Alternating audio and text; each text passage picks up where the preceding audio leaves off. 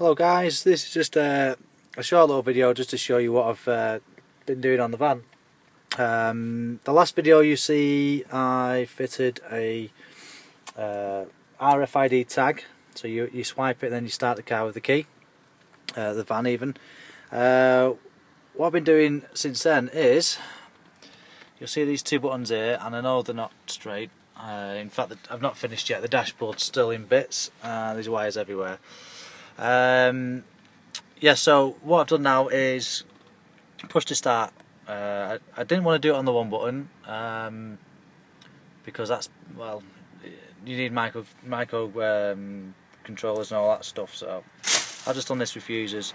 Uh, so here's a quick demo of it. The power button here. It's a bit bright that, but um, they're not it's bright on screen, but it's not as bright on um, in real life. So you start the ignition and then hold down start. Oh, hang on a minute. I've bodged something down here. I'll just sort that shit.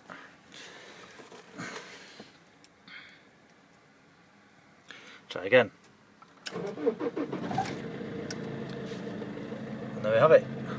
Engine running. Now to turn it off, you can't actually see this on these buttons, but I'll try and zoom in a bit. There you go.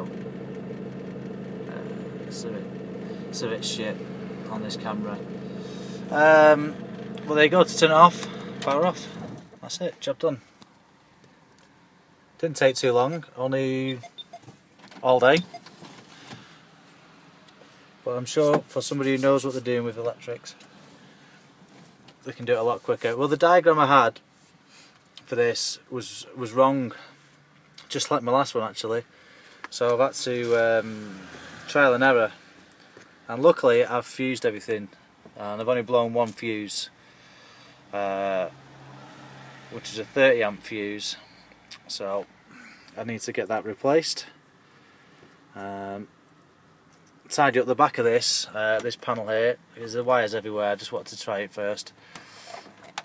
Um, put it all back together, straighten these buttons up and fix them permanently because they're just a bit loose at the moment.